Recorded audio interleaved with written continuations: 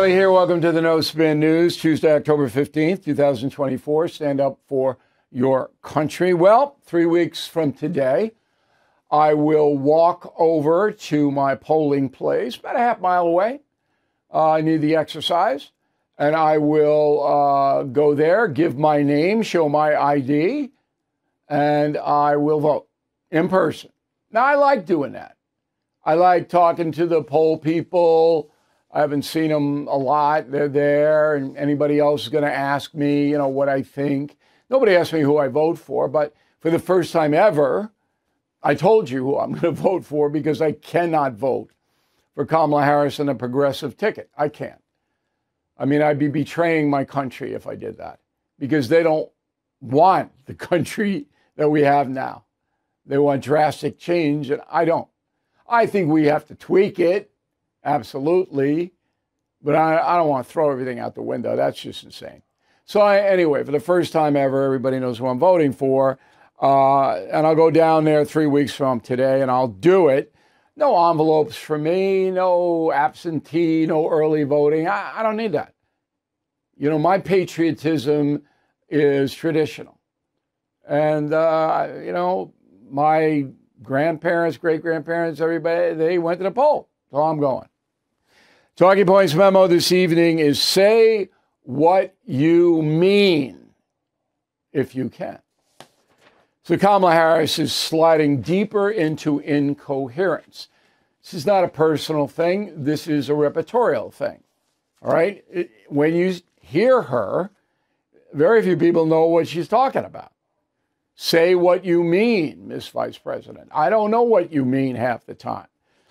So she goes on the Black Star Network, whatever that is. I have no idea what that is. It's promoting African American opinion, I guess. I don't know. So they're talking about how Trump's a racist. They, it's what they do, okay? And and Trump uh, is, is uh, scaring everybody with urban crime. Roll a tape. Again, he's singling out cities where there are significant African Americans, and that's who he's talking about yes, black people. Yes. Yes. I, you know, there's this whole. I, I talked with somebody once who said, you know, if you just look at where the the the stars are in the sky, don't look at them as just random things. If you just look at them as points, look at the constellation. What does it show you? So you just outlined it, Roland. What does it show you? that the cities that he picks on in terms of black population or black mayor or both. Come on. No constellations, and I really don't know what that was all about. Now, in any fair interview, and that certainly wasn't one, is run by a guy who hates white people, um, in my opinion. Um, and Harris knows that, by the way. She goes into these precincts. It would be like Trump going into some Klan thing, all right? Uh, it's crazy. But they'll never call uh, Harris out on it. So, what has been ignored in that conversation is that the vast majority of crime victims are African Americans. People are hurt by criminals. And the criminals that are hurting the African American victims are black. That is significant. Is it not? Is it not? So when you point that out, it might be a good thing to do it so the problem could get solved because it's been going on for 40, 50 years. Nobody's paying attention to it. Oh, you want to hurt the poor African Americans? Go ahead. Certainly the Black Star Network isn't doing anything about it, right? So, anyway, I use a soundbite uh, because I think that she is up in the constellation somewhere. I, I don't know what she's talking about. Say what you mean. Okay. So today, uh, Kamala Harris goes to Detroit to another African American radio guy. Okay. I, I, I, guess she's trying to bolster her standing within the black community, black voters, because she's lost some of them. I don't know if it, this does any good or not. I do know that there isn't one interview on television, video interview, that's done her any good. Not one. in this whole campaign. So now she's going on Fox News tomorrow. Uh, Bret Baier is the interrogator. I wrote a message of the day on BillO'Reilly.com. I'm sorry I'm so boring, but please go there every morning and read it. You don't have to be a premier conservation member. You don't have to be anything. Just go BillO'Reilly.com. Boom, there's a message of the day. I wrote about the difficulty that Bret Baier has in front of him. More pressure on him than her. If Baier does not ask tough questions and call her out when she dodges, if she dodges, okay, FNC viewers can be furious. Okay? Uh, so he he's not a confrontational guy and he's not an opinion guy. I don't expect a confrontation, but he's got to go on the record and say, look, I asked you A, you told me you had a middle class house upbringing. Uh, that doesn't answer A. That's what you do. Now, I know this better than anybody in the world because I did the same thing, the exact same thing. Let's go back. September 2008. Okay? John McCain running against Barack Obama. Senator McCain getting momentum. Okay? He's got Sarah Palin on a ticket. She was initially popular. I get a call. You got to go to York, Pennsylvania if you want to interview Senator Obama, which I wanted to do. So I get on the plane and I go to York. All right? This is exactly the same scenario as Baier Kamala Harris. Roll the tape. But I still don't understand, and I'm asking this as an American as well as a journalist, how threatening you feel Iran is. See, look, if Iran gets think... a nuclear weapon, okay? Mm-hmm. To me, they're going to give it to Hezbollah if they can develop the technology. Why not? And then, then they say, we don't have anything to do with it. Yeah. So, therefore, the next president of the United States is going to have to make a decision right. about Iran, whether to stop them militarily, because I don't believe if diplomacy works fine, but you've got to have a plan B. And, and a lot of people are saying, look, Barack Obama's not going to attack Iran. Well, here, here, here's where you and I agree. It is unacceptable for Iran to possess a nuclear weapon. It would be a game changer. And I've said that repeatedly.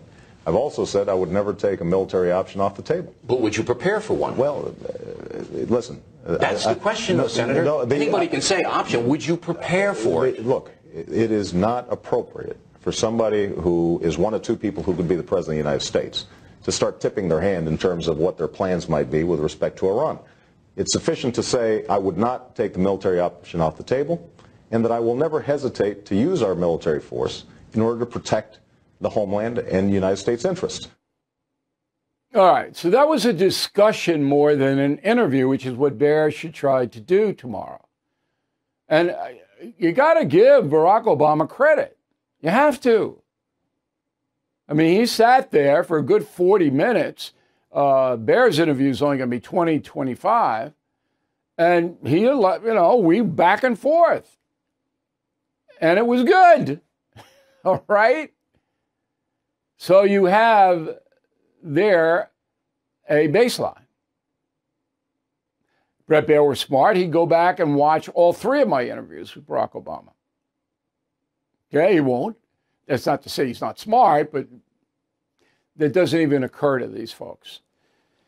All right, so I'm going to analyze this on Thursday. Baier's going to run it on a show at 6 on FNC. I'll have a big, big takeout on it on Thursday. A very important story because it's the first time that Kamala Harris is putting herself uh, at risk. I don't know if that's fair, but um, she's going into a non cupcake situation the CBS 60 Minutes thing wasn't a cupcake, but now it's shrouded with controversy because CBS won't release the transcript, which is just crazy.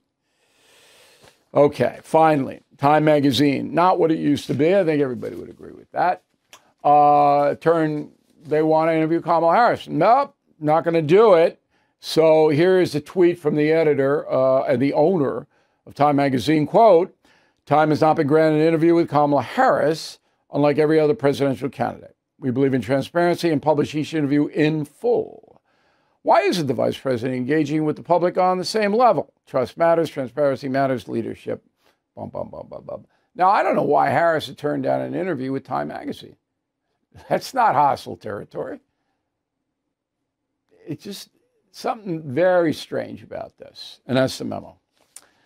All right, schedules. Uh, Joe Biden goes to Philadelphia to do something with the sheet metal workers union. I don't know what it is. Um, Harris, I mentioned in Detroit with a radio talk show host. And then uh, Trump is going to do uh, a town hall today, tape it for Fox News as well. Fox News is on a roll here. Um, and it's all about women.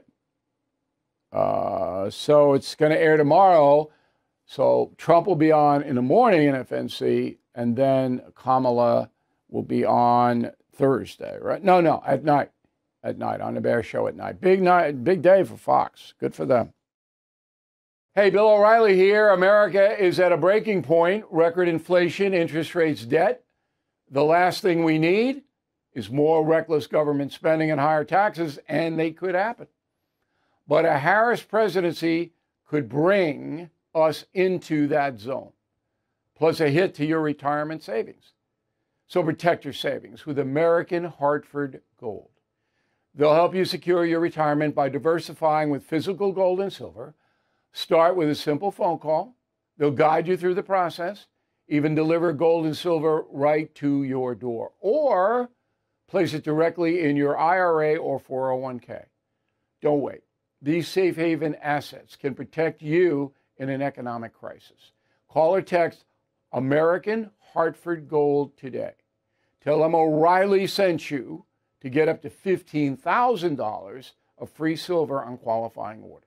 Call 866 501 5201. That's 866 501 5201. Or text Bill to 65532. Again, 866 501 5201 or text Bill to 65532. Okay, big YouTube uh, channel announcement. I have a Columbus, Christopher Columbus, and Kamala Harris analysis on our YouTube channel, youtube.com slash Bill O'Reilly, youtube.com slash Bill O'Reilly. And it's got uh, an enormous amount of views already. We just posted it last night. You check it out, sign up, it's free. We want you to be on our YouTube channel. Let's go to the mail. We got Don Malden, Aiken, South Carolina. I heard Jamie Raskin himself, he's a congressman, say that Trump cannot be elected because of the insurrectionist amendment. He also said he will never hold office even if he wins. I have this on recorded video. So what? Jamie Raskin is a loon. You don't know that, Don? He's as far out there as you can get. There is no insurrectionist amendment, and Trump hasn't been charged with any insurrection. Hey, Jamie Raskin? Man. Eric, the media is complicit in the destruction of the American dream. I wrote a message of the day on the American dream. Only the ruling class will have a great life. All others will get crumbs. All that because they don't like Trump. Nah, it's not because they don't like Trump. This socialistic movement has been, I wrote Culture Warrior, my book, Culture Warrior, in 2004. I told you it was coming. Check that book out. Um, Charlie, concierge member. Thank you, Charlie. Charlie has my team on his team. Concierge membership. BillO'Reilly.com. Pleased to say I'm voting for Donald J. Trump and all my family. We couldn't care less what other people do because, in the end, we don't approve of Kamala Harris. Do me a favor, uh, Charlie. We love you because you're a concierge member. Don't say Donald J. Trump. That sounds very uh, arrogant Donald J. Trump. No. His name is President Trump, Donald Trump, the Don. But the people who go, Donald J. Trump, it's like this arrogance built into this. Why are we doing that? I don't know. Uh, Lisa, concierge member, being an immigrant myself, I've written and published a book about the American dream. In fact, one of the chapters is titled Self Reliance Rocks. I know Lisa isn't talking about rock climbing, self reliance, core American value that is ignored in public education today. Henry Ryan, Okinawa, a Japanese island. Mr. O, Is it only voter ID that is not required in the states mentioned on the No Spin News yesterday? Do voters in the 13 states and Washington you listed still require an ID, such as a driver's license, for identity purposes? Of course they do. The police stop somebody, you know, let me see your ID. You got to have an ID. But the 13 states in D.C., you don't have to show an ID to vote. Insane? You bet. Should be a national law that got to show an ID so they can match it up with the voter registration.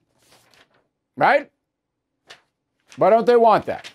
Ask Kamala tomorrow. Why don't you want that? Uh, glad you're watching out in Okinawa, far away. Patrick Atomic. Um, Patrick says, been watching the No Spin News as an undecided voter. As an individual with a physical disability, can you share with me Republicans' plans for our community? I cannot, Patrick. It is a local and state issue. Every state is different about how they treat the disabled. Every state, thank God, has a bureau, an agency to help you, but it's not a federal issue. There's no federal legislation that I know of. So they don't deal with it. Uh, Joe Tentler, Denver, Colorado. Hey, Bill, love to say a minute about cliches. As a kid growing up in Chicago, my dad would watch sporting events on mute because he couldn't stand the cliches and the banter as a sports fan, how do you deal with it? I listen to radio guys. I turn the TV guys down because I just it's it's beyond bad. And the radio guys I listen to, radio guys are usually better, not always, but these cliches, I, I, I just you know keep track of them. Just write them down. It's make it a game. All right, why don't you go to BillO'Reilly.com store, pick up Confronting the Presidents hot book um, big, big uh, positive reviews on Amazon and uh, become a premium concierge member. You get it free. And check out the No Socialism mugs. These are uh, going to sell out. Uh, if you don't like socialism, I'm going to ship a whole bunch over to Sweden. Uh, I bet you it'll be a big seller in Stockholm because they're getting hosed over there. Socialism. Then we got the political memorabilia, all three mugs. Okay, Team Normal. Love that. Not woke, no socialism altogether, special price. Word of the day, do not be fatuous. F A T U O U S. Fatuous. Okay. Final thought Yankee Stadium, Taylor Swift last night. I'll tell you all about it. The Federal Reserve has dropped interest rates, so you need to call my friends at American Financing today. With mortgage rates in the fours, it's a perfect time to consolidate debt and reduce your monthly expenses. Now, many of us have been forced to use credit cards due to the cost of groceries, utilities, even childcare. And thanks to insanely high credit card rates, that debt becomes even more expensive. But American Financing helps homeowners just like you save more than $800 a month on average. They're even closing in as fast as 10 days. You can close it all in 10 days. And if you start today, you might be able to delay the next two mortgage payments. There's no upfront fees. To find out how much you can save, please call American Financing 888 462 9557. 888 462 9557. AmericanFinancing.net slash bill. Being able to run your business on your schedule is very important. So cut down hours spent on mailing and shipping with stamps.com and do it on your timeline, not somebody else's. From small businesses to multi location organizations, stamps.com handles all your mailing and shipping needs wherever, whenever. Automatically see your cheapest and fastest shipping options from different carriers. Order shipping and mailing supplies, even printers from the supplies store when you're low. Get rates you can't find anywhere else, like up to 89% off USPS and UPS. Free up more time for more important business with stamps.com. Sign up at stamps.com and enter code O'Reilly for a special offer that includes a four week trial, plus free postage and a free digital scale. No long term commitments or contracts. That's stamps.com code O'Reilly. All right, here's a final thought. So I'm lucky enough to uh, get invited to go to uh, ball games uh, here in New York, and I went to the Yankee game last night. Steinbrenner family has been very nice to me, and we're in the booth, and uh, Taylor Swift was there uh, with the guy. She's going out with the San- Kansas City Chief guy. Nobody saw them. They were kind of like hidden in the stadium. Stadium is monumental. It's cavernous. So I don't know where they were, but they made sure they got their picture out. Somebody got their picture, and they made sure to get it out. Now, I am a correspondent. Was a whole bunch of people. Very interesting people, and we had a lot of laughs. Um, first of all, there's Chaz Palminteri, a friend of ours. Um, if you get a chance to see his one man show, you got to do that. Chaz is a really good guy. He's telling me all about uh, Gandolfini. There's Cardinal Dolan uh, reinstating me after excommunicating me for something. he's a big Yankee fan, even though he's from the Midwest. And he's a very good guy. And then we had uh, the owner of the Yankees, Hal Steinbrenner, the owner of the Islanders, Jon Ledecky, and me, your humble correspondent. Anyway, that's enough of that. Um, I'm not a big hanging with the swells guy, but I learned so much. Like I said, I was talking to Chaz about uh, Gandolfini, who I never met. Fascinating. And all these people, their one question was Mayor Adams, is he going to survive in New York City? And I do not think he will. That was the buzz. It wasn't so much Trump and, and Kamala. It was, uh, it was uh, you know, because this is local. Now, I'm one of the few human beings on earth who roots for the Yankees and the Mets. now, you, that's almost a sacrilege. So I got a dispensation from Cardinal Dolan. I can, I can do. So tomorrow night, I'll be with the Mets. Again, that's the team I grew up with. Um, and I'm hoping for a Subway Series here. Now, if there is a Subway Series, Yankees versus Mets in a World Series, I'll be your go to guy there. So I know everything about them, and I will tell you all that stuff. It's not a sports broadcast, but this is so much relief from the politics we all have to deal with every day. It's just great. Thank you for watching and listening to the No Spin News. We will see you tomorrow. Thank you for watching the No Spin News. To watch the full episode anytime on BillO'Reilly.com, please sign up to become a premium or concierge member. Visit BillO'Reilly.com to sign up and start watching today.